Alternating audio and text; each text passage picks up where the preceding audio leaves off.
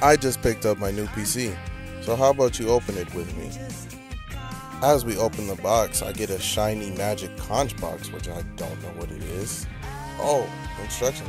You don't need those. Now I'm taking this foam padding out, and now the PC is out. Magic. Uh, sheath comes out.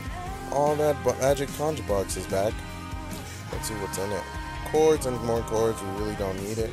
Hey, there's a keystone in here. Wonder what that does.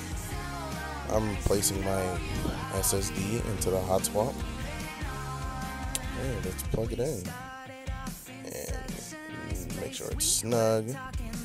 Click it. Oh wow, it lights up. And oh my god! Here's a little bit of ASMR.